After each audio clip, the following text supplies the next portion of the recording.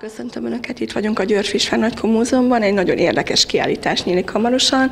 Dr. Nagy Molnár Miklós igazgatóral beszélgettünk erről. Honnan jött az ötlet, hogy egy igazán különleges kiállítással nyissák az évet?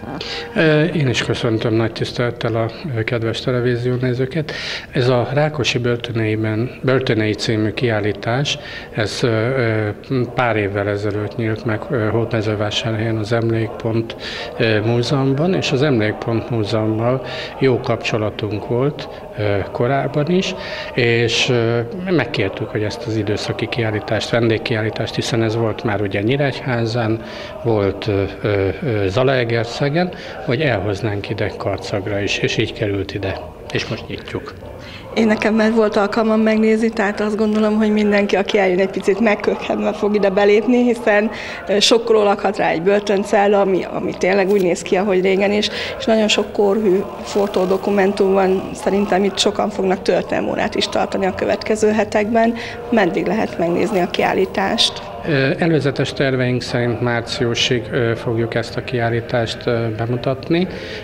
Bízunk benne, hogy március közepéig, illetve március végéig tudunk, tudjuk ezt a, itt tartani, annak függvényében, hogy ki kéri a kiállítást, mely múzeum kéri majd el, és addig lehet látni. És én is gondolom, bízom benne, hogy több történelem órának is majd helyet fog tudni adni a múzeum, hiszen olyan dolgokat állítottunk ki, amit még a történelem könyvekben sincsenek meg teljesen, és hát ugye menet közben lehet hallani egy kis alaphangot, alapzajt, a alapzenét, ami ugye abban az időszakban, amikor még én is fiatal voltam, ugye bizony-bizony ezeket énekeltük, menetdalok voltak, és hát egy kicsit ugye a fiatalságunkat hozza ez vissza. Nem nosztalgia, de mégis a fiatal korunkhoz tartozik. Viszont ugye pontosan azért akarjuk bemutatni, hogy mi közben ezeket énekeltük, közben a kiállításban látszik, hogy milyen, ellen, milyen ellenpont az, hogy milyen bűnöket követtek el azok az emberek, akik ezeket énekeltették velünk. Azt gondolom, hogy ezt a mostani általános és középiskolások is nagy érdeklődéssel fogják megnézni ezt a kiállítást. Reméljük, hogy sikere lesz és köszönjük szépen. Bízunk benne, hogy sokan megnézik, és sok embernek a történelem szemléletébe, és a mai, szellemé, a mai szemlélethez is egy kicsit támpontot fog adni.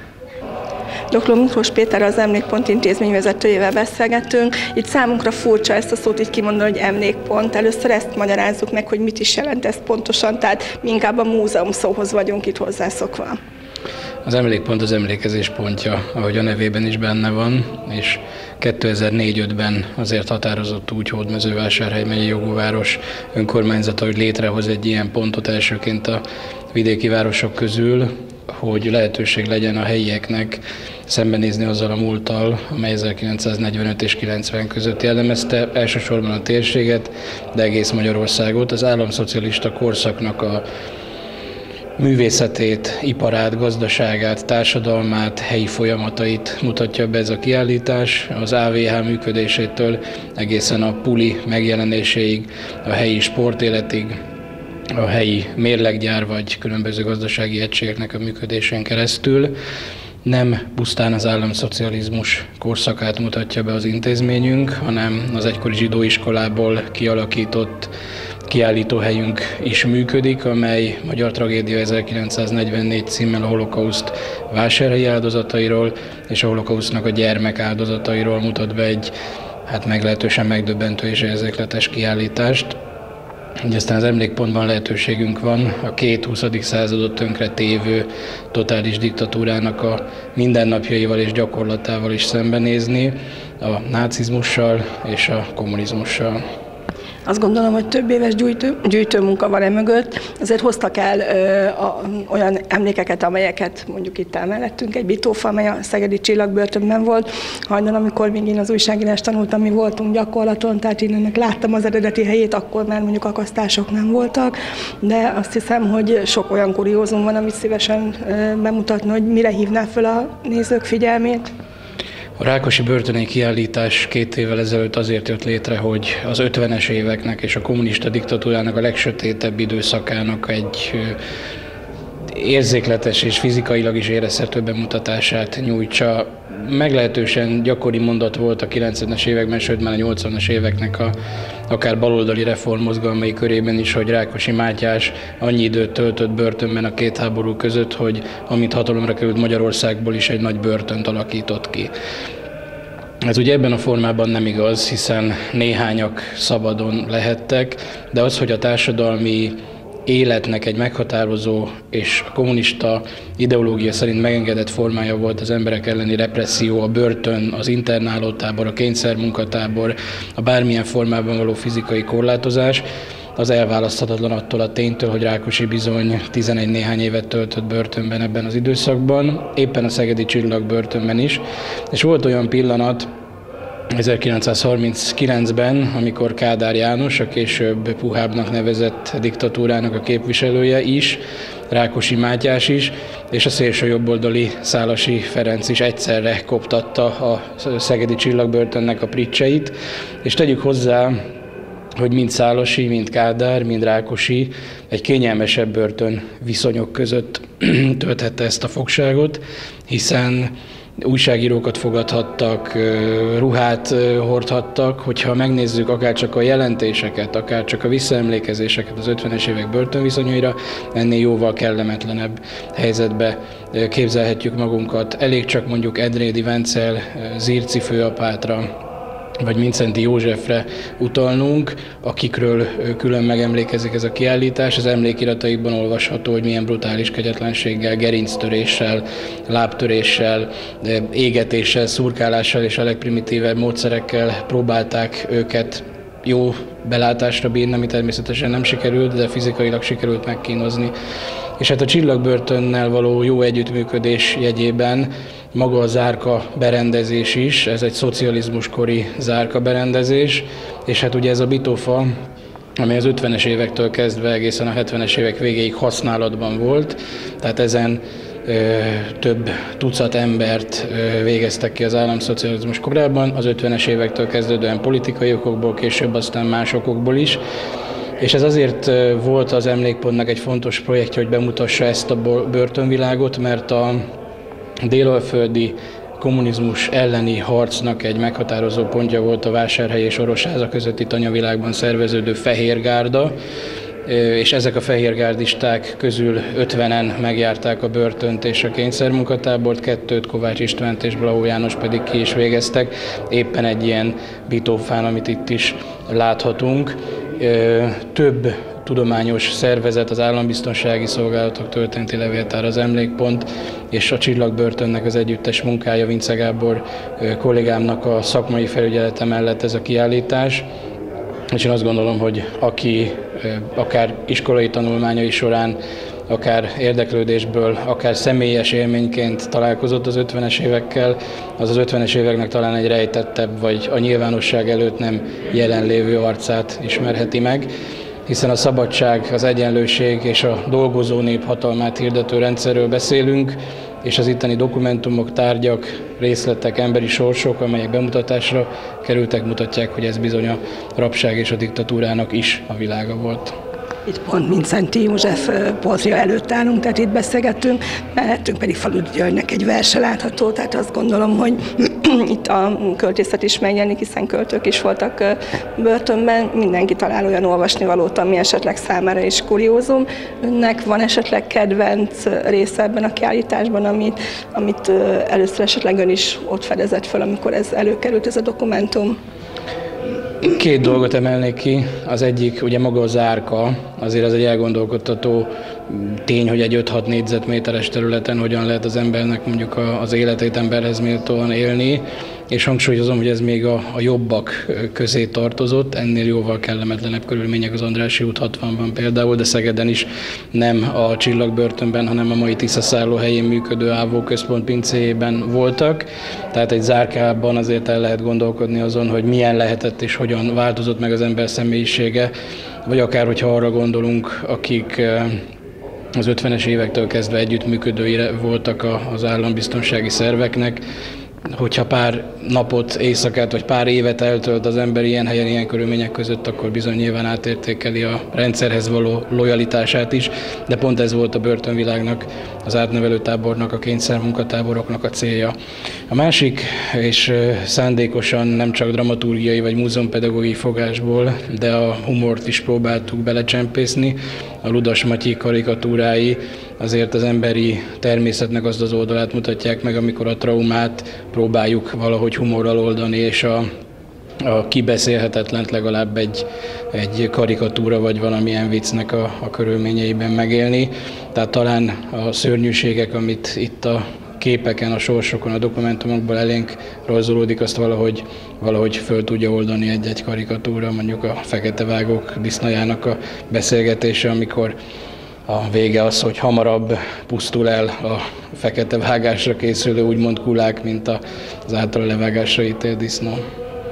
Reméljük, hogy mindenki talál olyan dokumentumot, ami megragadja és esetleg átértékeli az eddig erről a korszakról való véleményét, álláspontját. Köszönjük szépen, és reméljük sokan megnézik ezt a kiállítást. Én is ebben bízok, és azt kívánom, hogy akár a humoros oldalát, akár a fizikai oldalát ismerjék meg, és merüljenek el Rákosi börtöneiben. Köszönjük szépen! Köszönöm szépen!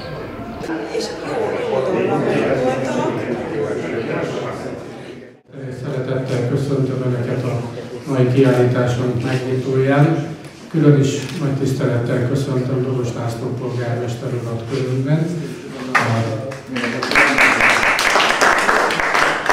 Köszöntöm Kovács Szilvia alpolgármester asszonyt a rendezvényünket, illetve Rózsa Sándor jegyző urat is nagy tisztelettel köszöntöm körülben, ahol a képviselőtestület megjelent tagjait és az intézmények vezetőit, munkatársait és valamelyik kedves vendégünket nagy tisztelettel és szeretettel köszöntöm ebben a mai egy kicsit furcsa millió kiállításban, hiszen már a címe is mutatja, hogy ez a Rákosi Börtönei címet viseli. Már rögtön ugye egy nagy télelem fogadja a látogatót, Hát ugye ez az a kiállítás, ami egy kicsit nyomasztó is, azért próbáltuk egy kis korabeli zenével, illetve énekkel egy kicsit oldani a, hangulatot is ezzel kapcsolatosan. Történelmünknek egyik legsötétebb korát, időszakát mutatja be arra utal ez a kiállítás, és ez pontosan jó is ahhoz, hogy illetve beleillik ebbe a korba, hiszen február 25-én van, emlékezünk meg a kommunista diktatúrák áldozatairól, majd itt Karcagon is, és hát ez a kiállítás egy kicsit ebből a szempontból így, így aktuálissá is vált a városunkban. Ez a kiállítás ez nem saját kiállításunk természetesen, hanem a Hódmezővásárhelyi Emlékpont Múzeum kiállítása, amely intézmény, egy viszonylag fiatal intézmény,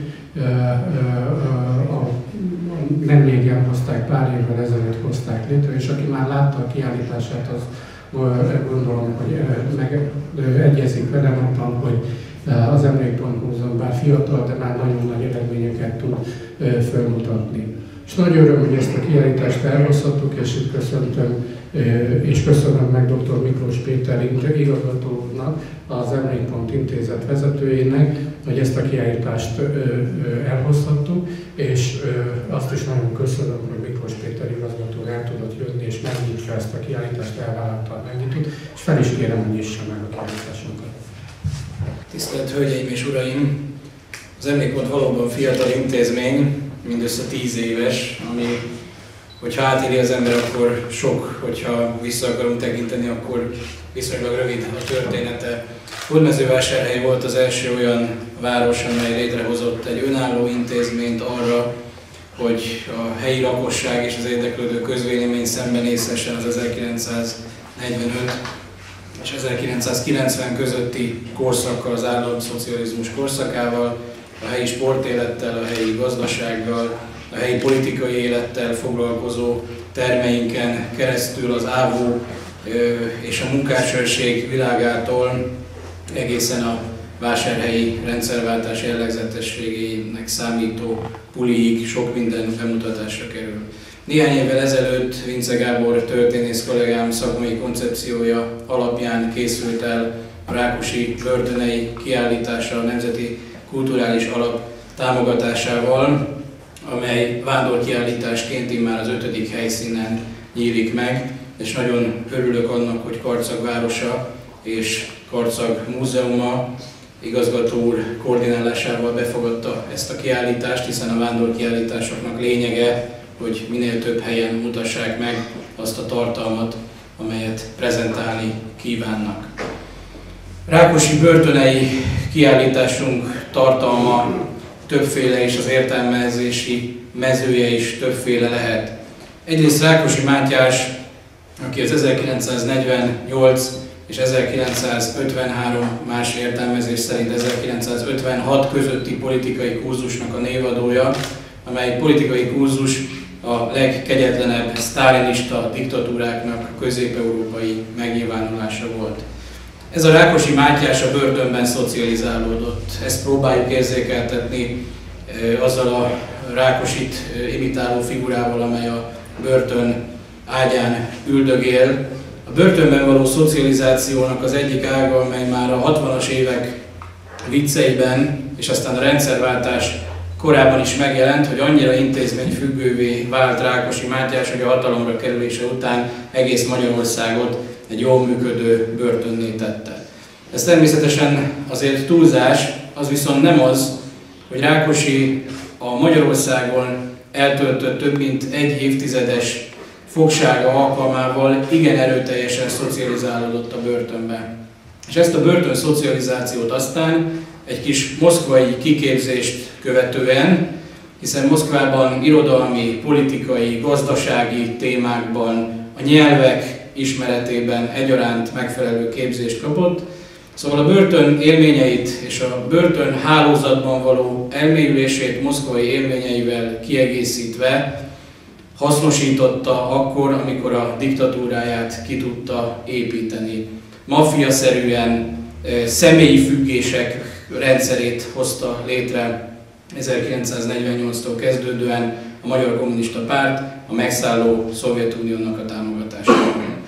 Volt olyan pillanat a Szegedi Csillagbörtön történetében, 1939-ben, amikor Rákosi Mátyás, az őt követő, az 56-os forradalom leverése révén hatalomra kerülő Kádár János, és az őket megelőző német segítséggel az ország egy részét irányító Szálasi egyaránt a csillagbörtön vendégszeretetét élvezhették. Hogy milyenek voltak a 30-as évek börtönviszonyai, azt azért mutatja, hogy megfelelő élelemhez, megfelelő ruházathoz juthattak az ott őrzött politikai foglyok. Rákosinak, Kádárnak, Szálasi Ferencnek egyaránt lehetősége volt például sajtótevékenységet folytatni, újságírókat fogadni, lehetőségük volt arra, hogy a nyilvánossággal kapcsolatot teremtsenek. 1945 után változott a helyzet, hogyha összehasonlítjuk azt a börtönvilágot, amit Rákosi tapasztalhatott meg, mint politikai elitét, és azt a börtönvilágot, amelyet az ő nevével fémjelzett rendszer alakított ki, az Ávos Péter Gábor, vagy a büntetés végrehajtást felügyelő Lőke Gyula vezetésével, nem egy komfortos börtönvilág volt. A terror, a társadalom valamennyi rétege elleni repressziónak az igénye, az éltető eleme volt a sztálinista politikai rendszereknek, így a Rákosi korszak Magyarországának is. Elég csak az itt is kiállított jelentéseket, utasításokat elolvasni, vagy az itt is föltüntetett börtönviselt embereknek az emlékiratait, naplóit, visszaemlékezéseit kézbe venni, akkor tapasztalhatjuk azt, hogy hogyan viszonyultak a fogvatartottakhoz. A fizikai, a lelki, a testi és a szellemi összetörés és megalázás az mindennapos volt. Vincenti emlékirataiból tudjuk, hogy rendszeresen mesztelenre vetköztetve ájulási gumipotozták, hogy gerincét eltörték. Endrédi, Vendel, Zirci főapát visszaemlékezéséből tudjuk, hogy a börtön őrének, a kihallgató tisztjének a csizmáját kellett addig csókolgatnia szintén mesztelenre vetköztetve, amíg el nem ájult, hogy mondjuk az Ilci főapátot a sarokba állították, pipiskedve és szögeket tettek a talpa alá. A fizikai és a lelki megtörésnek millió eszközét alkalmazták, káromkodással, ütlegeléssel, zsarolással. A Szovjetunióban való kiképzésnek és a Szovjetunióban kapott intencióknak a nyomán állította elő ezt a rendszert és ezt a börtönvilágot Rákosi Mátyás. Hogyha körbenézünk a kiállításon, akkor látjuk, hogy az internáló táborok világa, látjuk, hogy a közmunkákat koordináló kényszermunkatáborokat és kényszerlakhelyeket is meghatározó intézményrendszernek a működésének dokumentumai, ahhoz kapcsolódó képek és jelentések is elénk tárulnak. Egyházi személyek, politikai szereplők elleni koncepciós pereknek a világa is látszik, amelynek érdekes módon Kádár János is áldozatul esett. Kádár János, aki belügyminiszterként még a 40-es, 50-es évek fordulóján irányította a politikai pereket, és instruálta a kihallgatásokat, a leg inkább ismert Rajkper hátterében is ott volt, néhány évvel később maga is megjárta ezt a börtönvilágot és hogy mennyire abszurd és mennyire kicsinyes volt a kommunista diktatúra 1956 után, az is mutatja, hogy ugyanazt a terrort és ugyanazt a börtönvilágot tartották fönn 1956 után is, a 60-as évek közepéig, amit Rákosiék. Ez a börtönvilág lett a megtorlásnak az eszköze, ez a módszer lett a pufolykásoknak a módszere, ez lett aztán később az MSZNP vezetésének is a módszere, egy Rákosi restauráció valósult meg 56 után Rákosi nélkül. De hogy mennyire kicsinyes volt Kádár, és hogy nem felejtette el a Rákosi börtöneiben eltöltött idejét, arra az a példa, hogy mikor Rákosi Mátyás, aki tudjuk, hogy szanatóriumi kezelésre utazott a Szovjetunióba, aztán végül soha nem tért vissza, amikor értesült róla Kádár, hogy villában, személyzettel, Váci utcai öltönyökkel éli az életét Rákosi, akkor kérte, hogy egy másik lakhelyet jelöljenek ki a számára, ahol komfort nélküli lakásban kell, hogy éljen. Rákosit egyébként egyetlen ember kísérte el haláláig a számüzetés helyére a jakut származású felesége, de ő sem feltétlenül szerelemből, hanem azért, mert a szovjet titkos szolgálat, az NKVD ügynökeként rá volt állítva, és jelentéseket írt Rákosi Mátyás mindennapjairól. Gerő Ernő, aki szintén a Rákosi korszaknak a meghatározó szereplője, kettes számú vezetője volt, orosz és spanyol nyelvtudás birtokában, hiszen harcolt a spanyol polgárháborúban a köztársasági kommunisták oldalán, majd a Szovjetunióban töltött emigrációban éveket, műfordítóként tevékenykedett. Kádárnak arra is gondja volt, nyilván emlékezve a Rákosi és Gerő börtöneiben eltöltött évekre, hogy Gerő a műfordításaiért a szokásos tiszteledénál kisebb összeget kapjon, hogy anyagi gondjaik legyenek, hiszen felelősek az 50-es években elkövetett bűnökért, tegyük hozzá, ezt 56 után nagyjából hasonló szellemben folytatták. Művészeknek, Tollas Tibornak vagy Faludi Győrnek a szövegei is olvashatóak itt, és a Ludas Matyi néhány vicce próbálja oldani a feszültséget, amelyek közül tényleg van néhány katartikus és mélyen elgondolkodtató, amikor a kulák, fekete vágásra készülő kuláknak nevezett gazdának a disznaja beszélget, hogy hát a gazdáját hamarabb elviszik és elpusztítják, mint ahogy ezt vele tervezték. Azt gondolom, hogy ez a kiállításnak a tárgyi világa, és ennek a kiállításnak a képei, szövegei, részben korabeli dokumentumok, részben magyarázó értelmezések segítenek nekünk közelebb hozni azt a világot, amely a 40-es, 50-es éveket jellemezte. Aki átélte, aki csak hallott róla, vagy aki fiatalabb generáció tagjaként meg szeretne vele ismerkedni, az elgondolkodhat azon, hogy egy 5-6 négyzetméteres térben hogyan lehet az embernek az életét leélnie politikai okok miatt elítélve, és elgondolkodhat azon, hogy hogyan lehet politikai okok miatt bitófára jutni. Kiemelném, hogy a csillagbörtönnek az eszközei és tárgyai azok, amelyeket itt láthatunk. A zárkának a berendezése épp úgy, mint az itt látható bitófa. Az 1950-es évek közepétől, tehát az 56-os megtorlások során is a 70-es évekig használatban lévő, ténylegesen használt bitófa az, amit a csillagbörtön a rendelkezésünkre bocsátott.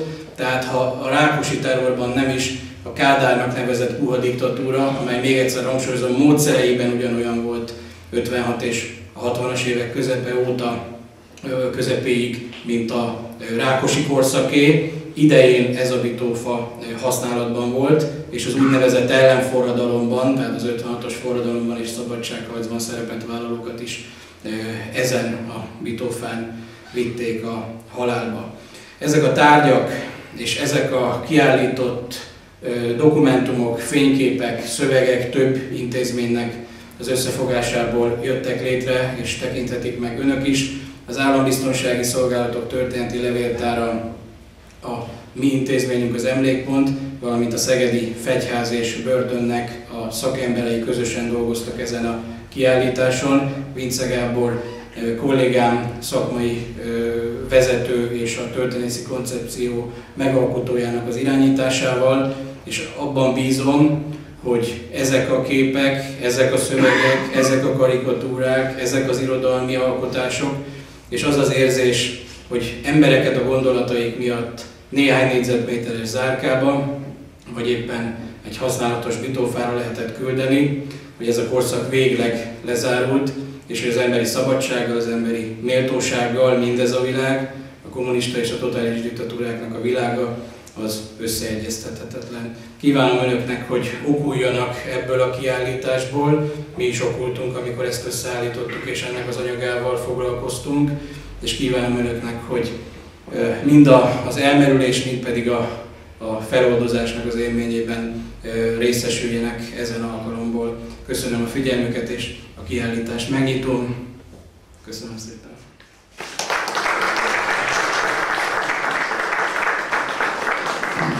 Nagyon szépen köszönöm Miklós Péter igazgatónak a megnyitó szavait, és ahogy ő is mondta, hogy okultak, amikor a kiállítást készített, és sokat tanultak. El kell mondani, hogy én is, ahogy itt a kiállítást rendeztük, én is sokat tanultam, noha én csak a végét értem már meg ennek a kornak, hál' Istennek, és azt, a, azt az időszakot nem értem meg, ez, ez a kiállítás igazán szól de az is szörnyű, amit így a tablókból lehet látni, és el lehet olvasni, és amit lehetett hallani. És épp ezért nagyon fontos az a dolog, amit a, amiért ugye annak idején az Emlékpont Múzeum is létrejött, nagyon fontos az a cél, és nagyon jó, hogy van ez az Emlékpont intézmény nem messze tőlünk, Ugye itt Karcagiak tudják azért, hogy az internáló tábor Karcag határát is elérte, hiszen itt azért a tilalmasi határban is voltak jó páran elhelyezve annak idején, úgyhogy azért van miről emlékeznünk mindannyiunknak ezen a mai napon is, és majd lesz még miről emlékeznünk. És hát köszönöm még egyszer, hogy eljöttek, köszönöm igazgatónak, hogy megnyitotta, és további jó munkát kívánunk nekik, hogy minél többet megtudjunk ezekről a dolgokról is. Nézzük